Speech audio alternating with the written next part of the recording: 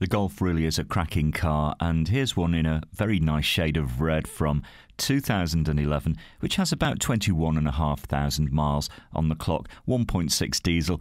You're not going to be worried about the running costs. This, well, returns about 60 mpg combined, so very easy on the pocket, I would say. And a very smart interior.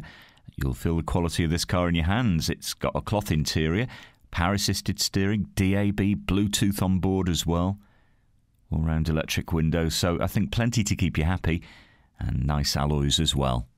So, if you like the look of this car and you would like to find out a little bit more, why not ring and reserve? There's no deposit, there's no obligation. We can hold the car for up to 48 hours until you can get here and bring your license with you. You can have a test drive and discover this great car for yourself at Fords of Winsford.